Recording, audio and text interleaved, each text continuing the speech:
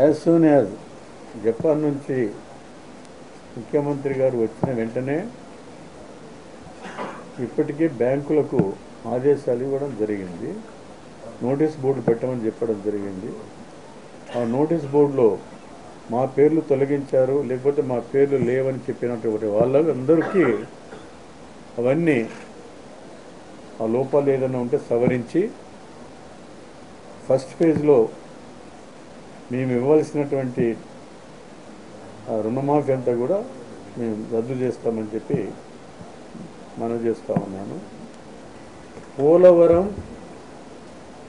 చంద్రబాబు నాయుడు వెళ్ళి government of ఇండియాతో మాట్లాడి దాన్ని జాతీయ ప్రాజెక్టుగా తీసుకొచ్చిన ఘనత ఈరోజు చంద్రబాబు నాయుడికే ఉంది.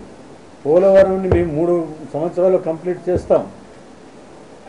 మూడు వరలు మూడు సంవత్సరాలు కంప్లీట్ చేసి గోదావరి నుంచి ఎనభై టీఎంసీలు ఒకటి రెండు సంవత్సరాలను తీసుకొని వచ్చి రాయలసీమకు నీటి దుర్భిక్షం అనేది లేకుండగా చేయగల సత్తా మాకు ఉందని కూడా నేను తెలియజేస్తా ఉన్నాను.